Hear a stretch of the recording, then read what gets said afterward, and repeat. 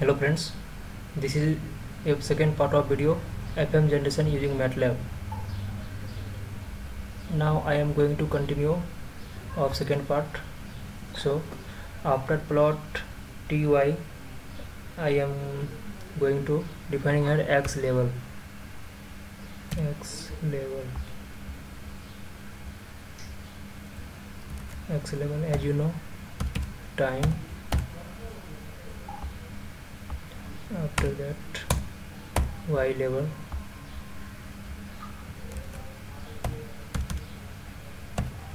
Amplitude. And after that title. As you know this is final output of my program so title is fm signal. Fm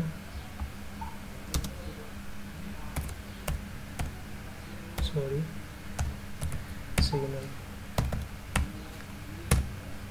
after that grid on. You can also off grid read so don't effect and just copy. And just first of all just save. After saving just copy this program. Control a for copy and control control F here select all and control C for copy. And just open MATLAB. I am using MATLAB so just open already. So first of all here I am going to clear clear. All of here clear command window. And after that control V for paste. After pasting you can enter for running the program and uh, after running users uh, want to enter your desired value for uh, output. So I am going to input giving input 25 for message frequency and carrier frequency for 400 and after modulation index 10 friends as you see the waveform this is actual perfect waveform for FM signal. As you know message signal I am uh, giving input 25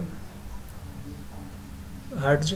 So this is for message signal sine wave and carrier signal 400 Hertz for carrier signal. So you can see that. And after that uh, FM signal you can see that. Various frequency variation in the in this area frequency is less than comparison to this area. So this is actual output for FM signal. You can also use same procedure for find finding output. So you are going to